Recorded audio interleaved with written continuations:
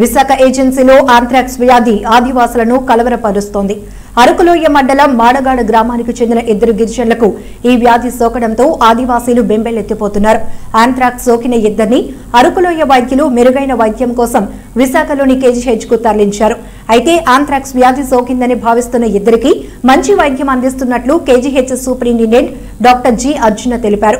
అయితే వీరి ఆరోగ్యం మెరుగ్గా ఉందని కూడా చెప్పారు.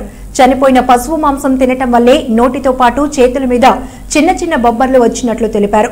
ఆంథ్రాక్స్ వ్యాధి నిర్ధారణకు ఆ ఇద్దరు వ్యక్తుల రక్త నమూనాలను గ్వాలియర్లోని డిఆర్డి సెంటర్ ల్యాబ్కు పంపిస్తామన్నారు ఒక రెండు సస్పెక్టెడ్ ఆంథ్రాక్స్ కేసులు అని చెప్పేసి ఏజెన్సీ ఏరియా అరకు మండలం మాడగడ విలేజ్ నుంచి పంపించడం జరిగిందండి. ఒక రెండు మూడు రోజుల వ్యవధిలో ఇద్దరు కూడాను జాయిన్ అవడం జరిగింది. వీళ్ళిద్దరు కూడాను మగవాళ్ళే. Twenty five to twenty six years ఉంటుంది.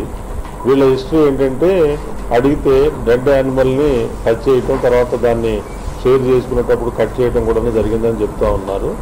సో న్యాచురల్ హిస్టరీలో కూడా ఇదే విధంగా ఉంటుంది. లేడీస్కి జనరల్గా ఈ వ్యాధి సోకటం అనేది ఉండదు. మగవాళ్ళు యాంథ్రాక్స్ ఉండి చనిపోయిన యానిమల్ని కట్ చేసి వాళ్ళు ఆ మాంసాన్ని షేర్ చేసుకునేటప్పుడు ఇది టచ్ అయ్యి కుటేనియస్ యాంథ్రాక్స్ అనేది రావడం జరుగుతుందని చెప్పేసి ప్రీవియస్గా గమనించడం జరిగింది. సో కొన్ని కేసులు సస్పెక్టెడ్ కేసుల కింద ఉంటాయి కొన్ని కేసులు ఏమో అంతకుముందు లాస్ట్ ఇయర్ కూడా డయాగ్నోజ్ చేయడం జరిగింది. ప్రస్తుతం ఉన్న వాళ్ళ పరిస్థితి ఆందోళనకరంగా ఏం లేదు. చిన్న చిన్న బొబ్బలు చేతి మీద రావడం జరిగింది.